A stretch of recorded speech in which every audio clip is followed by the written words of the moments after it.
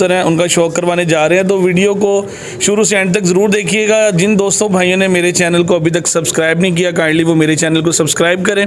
Bell icon को press करें ताकि मज़ीद अच्छी अच्छी वीडियोस आप लोगों को देखने को मिले।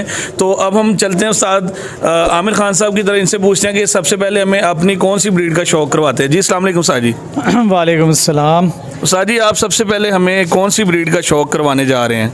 जी मैं आपको अपने जो जालदार कमगर है उनका शौक करवाने जा रहा हूँ। अच्छा। तो दोस्तों मेरे इस जानेब डॉक्टर तैमूर साहब बैठे हैं बहुत अच्छे हमारे दोस्त हैं बहुत अच्छे शौकीन हैं लाहौर में ही रहते हैं।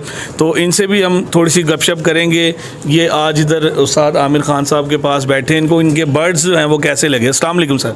जी वालेकुम अस्सलाम। सर क्या हाल है आपका? ठीक है? अल्हम्दुलिल्लाह मैं बिल्कुल ठीक हूँ। सर ये बताएँ कि माशाल्लाह आप इनके बड़े अच्छे दोस्त हैं हमारे भी बड़े अच्छे दोस्त हैं। आप काफ़ी दफ़ा इधर आए हैं इनके परिंदों का शौक़ किया है उस्ताद आमिर खान साहब के। हसीन टैडी तो इनके हैं ही ना आप तो आपको ये जो डिफरेंट इनकी ब्रीड्स हैं, ये कैसी लगी हैं? जी जी बिल्कुल।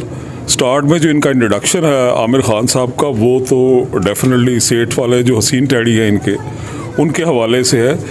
तो स्टार्ट में जो मेरा इनके साथ तारफ़ था वही था।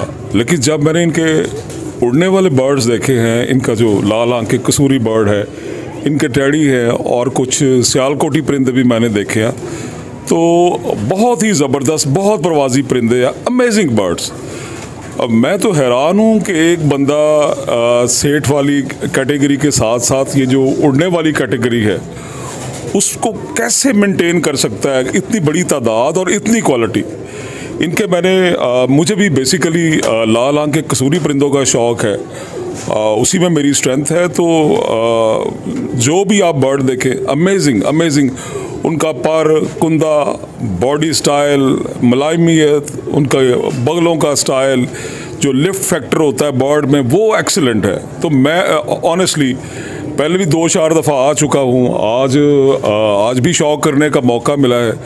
जब भी आमिर खान साहब के साथ मुलाकात होती है, शौक का मौका मिलता है तो यही लगता है कि खान साहब जो हैं वो चार पाँच स्टेप और आगे जा चुके हैं।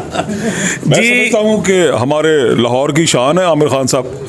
बहुत बड़ा नाम है बहुत छोटी यंग में एज में ही इन्होंने इतना नाम बनाया है और मैं समझता हूँ कि फ्यूचर के ये बहुत बड़े उस्ताद हैं। मैं इनके उस्ताद साहब जो है उनके साथ भी तारफ़ है। उस्ताद अक्रम अक्की साहब माशाल्लाह बहुत अच्छे मीडिया पर्सनल हैं उनकी गुफ्तगु अमेजिंग शौकीन अमेजिंग और बहुत बड़े उस्ताद के मैं समझता हूँ कि बहुत बड़े शागिर्द।